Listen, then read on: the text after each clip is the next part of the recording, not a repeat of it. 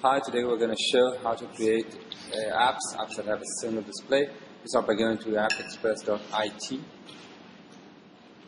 That will take us to the app builder. As you can see here, you can build your own app. We're going to choose single background application. And now we have to choose a name for the app. We're going to build Conspiracy Keanu. Now we can to choose an icon, we can either upload our image or search in Google. We're going to go search in Google. Please be mindful of the copyright. I'm going to pick an image here. This one will do. And now we're going to crop it. it. Since it's an icon, it has to be square. That will do. Okay. So now we're going to choose the background for the image. If you look at the simulator, in the simulator you can notice things are already there, starting to show up. Now I'm going to upload from the computer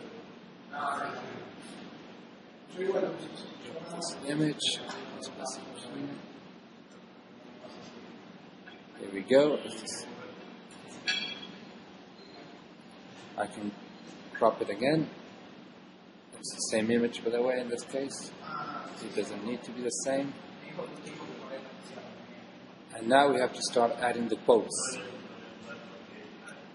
I've already typed down a few, so I'm going to go and copy and paste them. There